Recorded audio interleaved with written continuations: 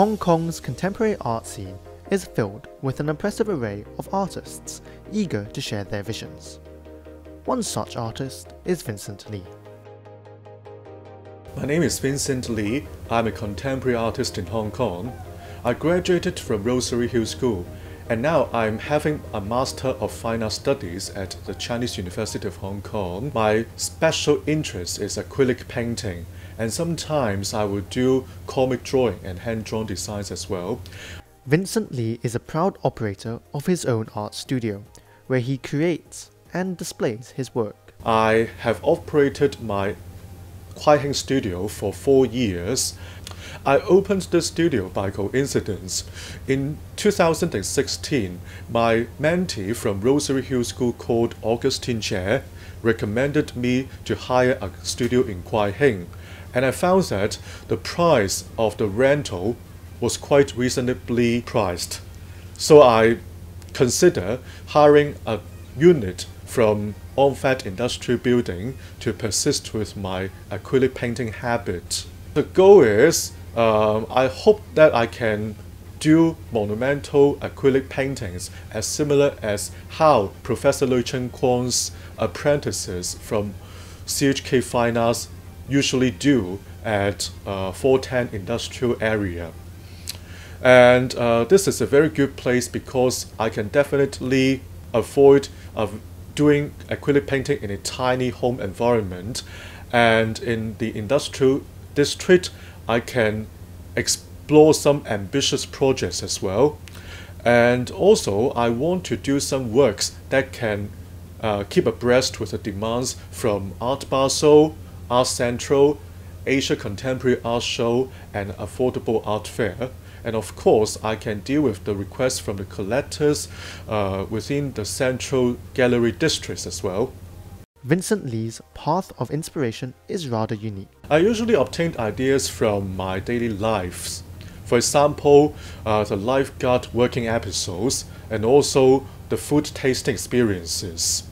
Usually, I would regard that uh, my, my existing career as a lifeguard uh, will stimulate some kind of sexual desires within our innermost qualities.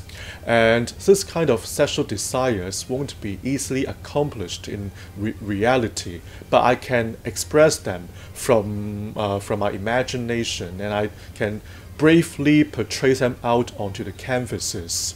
And for the foods, I love the Portuguese cuisines very much, so I will usually obtain the inspirations from uh, from my experience of visiting Macau, and also I, I love the Indian foods as well. And I used to uh, visit the Chungking Mansion for the curry foods, and then uh, I will re represent these kinds of tasty feelings onto the canvases as well. Vincent Lee's journey in arts began well over a decade ago and was further developed at his alma mater, Rosary Hill School.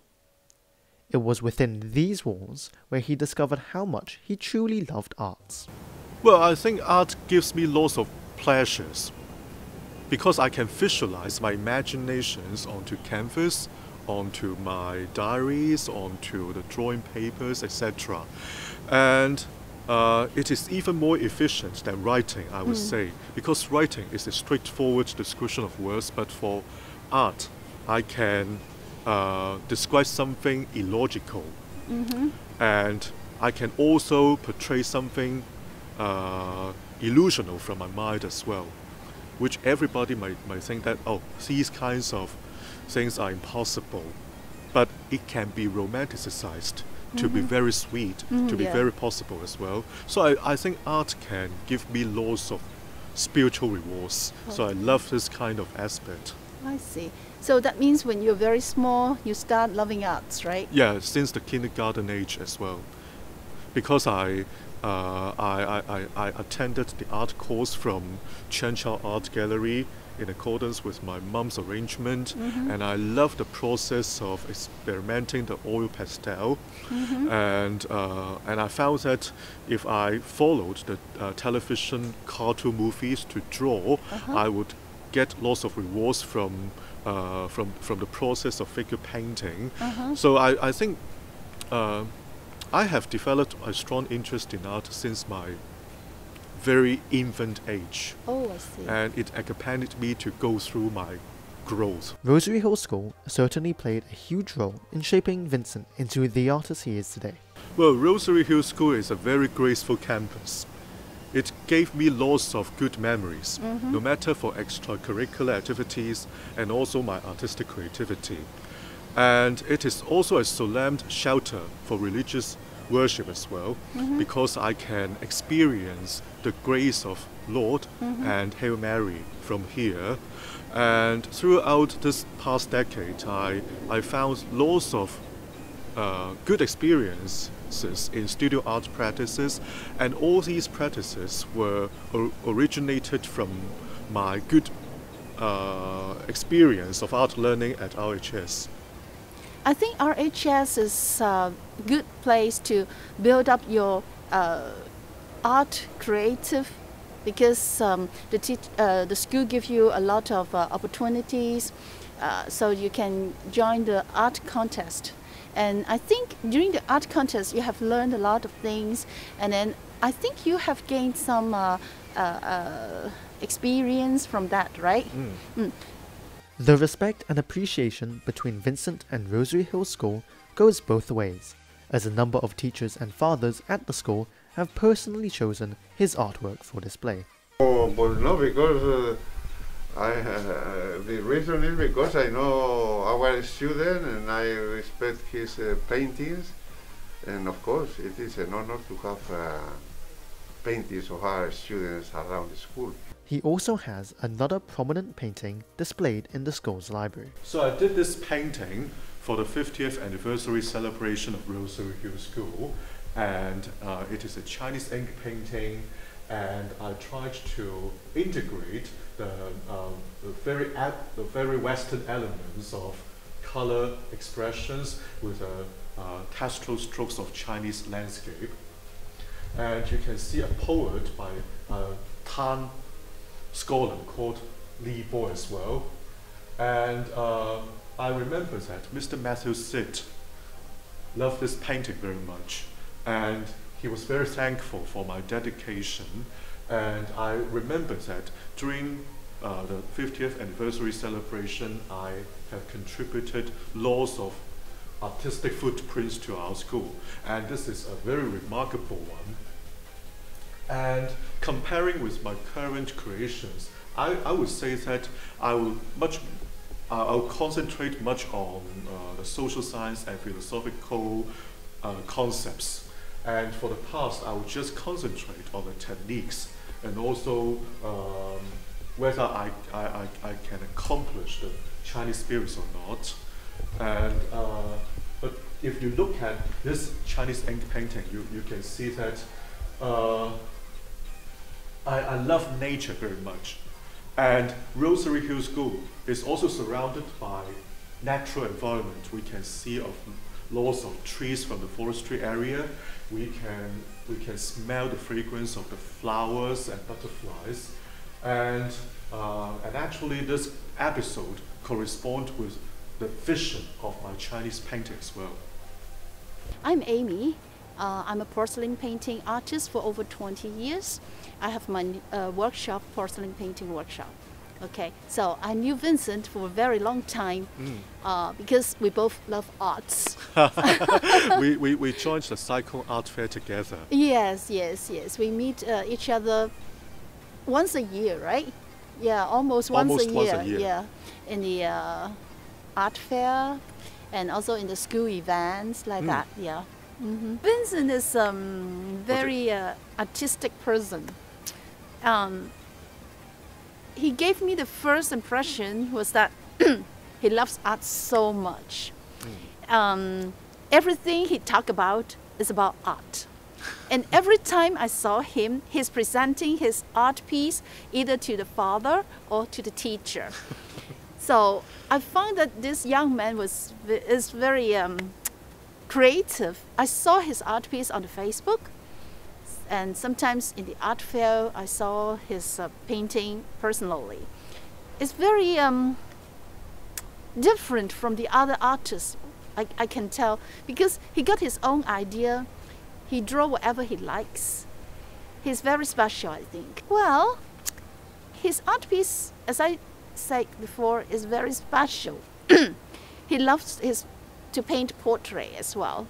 So in his portrait, I, I can see he's very um, open, open-minded, and uh, although I'm not quite um, understood what what the meaning in the in the art piece, but I still love it so much. I I think he got his own idea, his own creative in the art piece. But I'm not in his field. I'm I'm in a uh, in porcelain painting feel I, I can't paint what he is doing on my porcelain. So I think he's very special in his idea of painting the portrait and it's very fresh. It's different from other artists. His idea is very good. Yeah. Vincent's method and approach to painting has developed greatly since his high school life. Well, I admit that during my RHS age, my paintings were all purely narrative. For example, I did visual diaries and I did comic drawings and I did poster designs, these kinds of stuffs. And I just reflected my egocentric desires onto the canvas or onto the paper.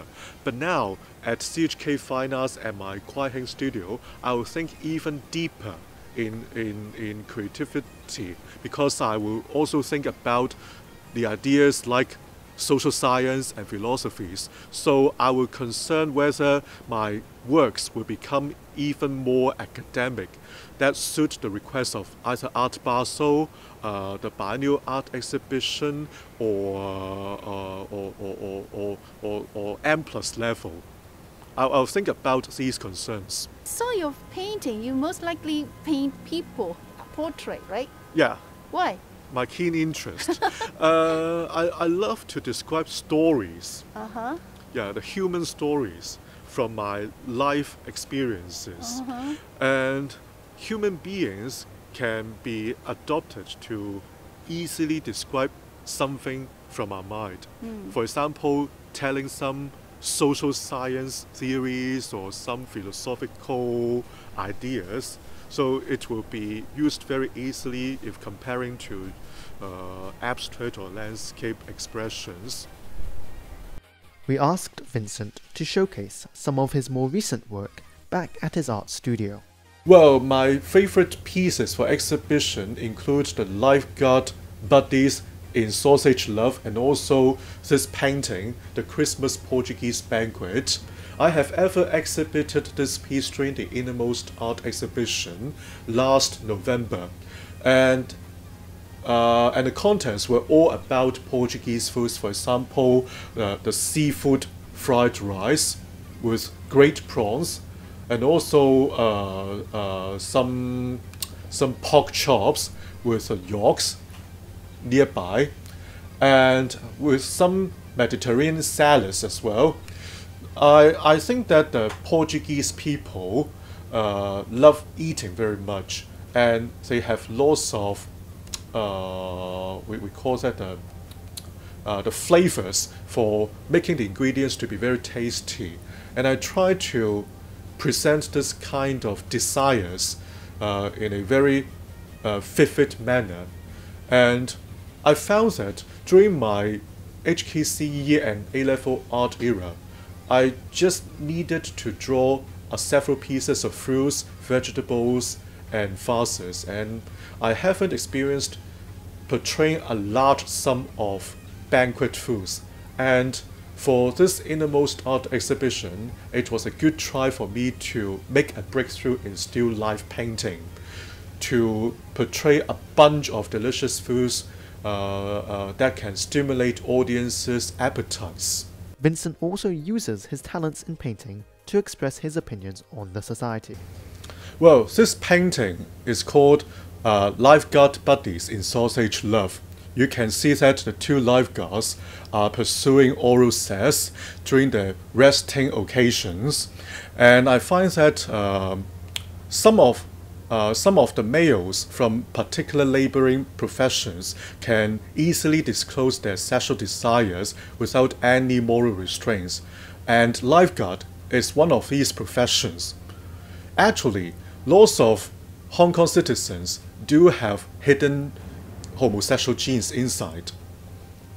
And because of the Confucian restraints of our Chinese society, this kind of homosexual desire cannot be easily disclosed, or else it will come out with lots of criticisms from outside, and it will also threaten your uh, job stabilities as well. But if you put aside these kinds of concerns, we find that um, you still have this kind of desires, and it is a must for you to release them out. And I find that these kinds of desires can be revealed from uh, from pigments, and also uh, from my expressions on the canvas. And I hope to present some visions that we can never see from reality. And I, I, I set two lifeguards to doing this kind of uh, pornography actions because I hope to satisfy audiences' sexual desires. And I want to tell everybody that lifeguards can be very sassy. Lifeguards can be very naturalistic. And lifeguards can be uh, very graceful because they protect people from from the danger of swimming, and they will offer uh, a muscular body uh, to to uh, to offer temptations for, for for the people who are eager to have sex, and I think um, this kind of offer is a very generous offer, and I hope that everybody can appreciate the beauty of lifeguard. Now for this painting, it is about the chocolate ice cream and as and also the Kit Kat uh, chocolate as well. Uh, from this painting, you can see that there are some dark chocolate um, cakes nearby, and also some waffles as well. Um, for a male artist, it is a rare phenomenon that he can paint something feministic and ladies used to enjoy desserts. And I hope that uh, I can paint something that satisfies the ladies' desires. And I have chosen chocolate as theme. And you can see that the whole painting looks very colorful, and it seems like the the, uh, the fresh exhibits and even the masterpieces from Art Basel as well. These kinds of styles are very common because lots of contemporary artists will do this kind of dessert or food related works in a very colorful fashion, even though it appears like a pop art creation. And uh, I, I still remember that Andy Warhol will use some silk screen printmaking effect to make uh, his painting to be as colorful as possible to convey the idea of consumerism. And actually, Andy Warhol also admires uh, the, uh, the sacredness of consumerism as well, and he openly adored this kind of um, commercial ideology. And I'm also a very commercial person, I would say and I don't mind making my paintings to be commercialized. And even for describing desserts like chocolates, it can become like an advertisement. So I hope that uh, I can present a vision of an advertisement onto the canvas. And so everybody can feel that we are within a cosmopolitan realm by appreciating this kind of aesthetic pleasures. Now, for this painting, it is about a swimming coach. Uh, you know that I have another identity as a swimming coach as well, and I recently teach two kids uh, to, to, to swim from the fundamental uh, level, and um, I used to sit on the lifeguard stand to observe the flow of the swimming pool water how the lights are, re are reflected from the light blue of the underneath part of the pool. And I, I, I really admire this kind of visual effect and I hope to present them out. And you can see that the blue colors that I adopt are quite fresh, uh, quite inclined to the freshness of the sky as well. And I love the joy of these two of, of, these three kids being taught by the swimming coach, uh, they just kick within the floating board, and they they are innocent, and they just play within the water, but they have lots of fun because this swimming coach uh, cares for their happiness all the time. And I find that this swimming coach is very muscular and uh, and he's very professional as well in giving articulate guidances within the restricted swimming hiring lines. And you can see the flow of the waves as well. The flow of the waves are uh, quite splashy and uh, you can see some white turbulences as well and uh, you can see the light reflections from uh, from the ceilings so all these kinds of effects test my ability of how to observe the natural substances in a vivid manner We then took a look at his latest work, which combines everything he has learnt about contemporary art today. well my recent painting is a final assignment submitted to Professor Kurt Chan at CUHK Fine Arts. The name of this painting is The Helpless Feeling of Acute Vision. And from this painting, you can see that a frog is being ha- hanged through a string, and he and it was hoisted to jump everywhere within the red framework, and it is actually a restricted red framework. The next part from this painting is a snake jumping within the tornado. And uh, from this whole painting, you can see that both kinds of animals are jumping delightfully within the restricted areas. For example, a restricted red stage, a red framework, and with some uh, with some white nets nearby as well. And for the snake, it it cannot climb everywhere, but it can only jump within uh, within within the wind. And uh, this kind of story implies that even though we are restricted by the social political circumstances and also some insane desperations, we can still utilize the restricted framework to create some happiness. For example, this frog is obviously restricted by the political environment, but it can still jump happily as similar as the dancers from the Movement of Air multimedia artwork of Claudia Bardainne and Andrea Mondot. And for this Nick, uh, it can still jump happily as similar as the ballet dancer from Claudia Bardainne and Andrea Mondot's artwork.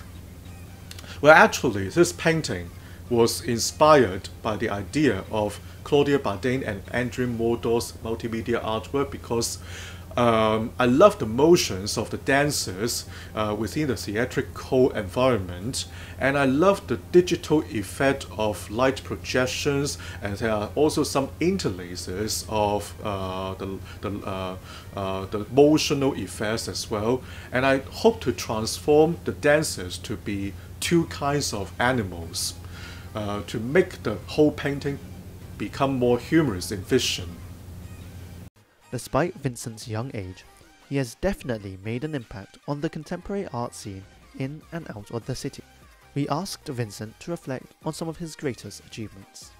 Uh, simply for art, I will I will think that I have ever obtained uh, the tertiary sec, uh, tertiary level second place award from the eighth Philippines China Japan International Fine Arts Competition, organized by Asia Cul- Exchange Cultural Association Philippines Incorporated in 2008. It was a very rewarding experience that my Chinese ink paintings could reach an international level of recognition.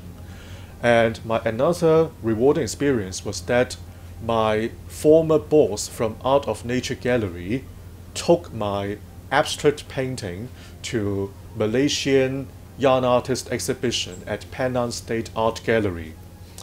And uh, I could climb up to the international stage for showcasing my works.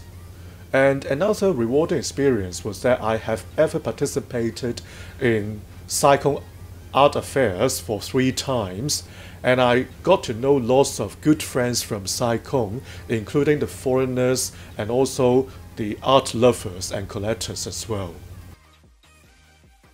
Vincent's journey is far from over, as he wishes to make an even greater impact on the contemporary art field. I decided to further my master's studies at CUHK Fine Arts because I want to consolidate my knowledge in curatorship.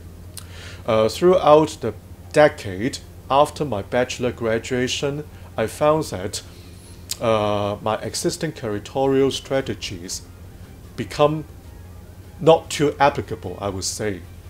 Um, and I found that there are some other kinds of contemporary art knowledge that I am still ignorant with. So I must further my studies because at CUHK Fine Arts I have very good professors who are good at theories and I can uh, deal with cultural theories and philosophies as well. So my mindset towards the global art scene will be a bit different after my master studies. And also, I will undergo a, a process of transformation in my curatorial thought as well. Vincent admits that the time he has spent so far at the Chinese University of Hong Kong has been invaluable. Well, CUHK is actually a gifted place for academic research. In this university, I can learn some new knowledge in art practices. For example, I learned how to do mixed media works. I learned how to do quality contemporary artworks based on three notions. For example, physicality, cultural significance, and spirituality. These three notions are proposed by Professor Kurt Chan, and I deeply remind these three notions in my heart when dealing with my uh, painting creativity. And also, I can learn cultural theories in which I will learn some new aesthetic concepts and uh, some uh, philosophical ideas as well. These can help enrich the contents of my paintings. And also, I can have directions of how to develop more brilliant ideas. Moreover, I can exchange new ideas with my MA classmates as well. For example, uh, we exchanged the adjective paradoxes for our second assignment, and then after receiving the paradoxes from my groupmates, I can further develop my third assignment, uh, the helpless feeling of cute fiction. And also, I think it is a place uh, with humanitic spirit because there are lots of library resources related to literature, philosophy, and histories, and I can find some important academic discoveries as well. Okay. Being a CUHK student can enable me to remain minimal and primitive in all campus occasions. Uh, there is a very famous saying that the CUHK boys like to wear slippers and sweaters all the time. And in CUHK, I can remain very naturalistic. I don't need to be pretentious. I can uh, uh, uh um, exchange academic ideas in a very liberal environment. And also, I can play with the young boys without any age boundaries. Um, I recently joined the rowing team and uh, receive intensive sports trainings as well. And I find that the boys in CUHK are very nice and um, and, and, and, we, we will have lots of exhibition opportunities. For example, in the coming year, there will be a special session from the graduation show reserving for the year one students to showcase their assignments as exhibits as well. For my two years of CUHK studies, I, I would say that I'm very thankful for being a master student here because um, I can further rediscover my confidence in fine arts and uh, getting tired with the chaotic social and political circumstances throughout the past decade. I need to recharge myself. Especially for the knowledge about curatorship and, um, and contemporary art awareness. I should recharge myself. And CUHK allows me to enjoy a very good shelter for recharging my knowledge, recharging my battery, and recharging my spirituality as well. I, I'm very thankful with this university for giving me this chance to, uh, to, to, to, to, to let me have transformations. With an eye on the future, we asked Vincent what his plans are. Well, I will continue running my Kwai Hing painting studio, keep on doing lots of paintings, and keep on with my art tutorships. Uh, whereas I will continue to serve as a lifeguard and a swimming coach at the same time. Well, um, I hope that after my CUHK final Studies, there will be more galleries or auction houses approaching me for giving me some chances to showcase my works within the co- contemporary art scene. And I don't mind to do some conceptual works if the curators request me to deal with particular creative ideas. I, I feel pleasant to do so. I feel pleasant to be an occupational artist.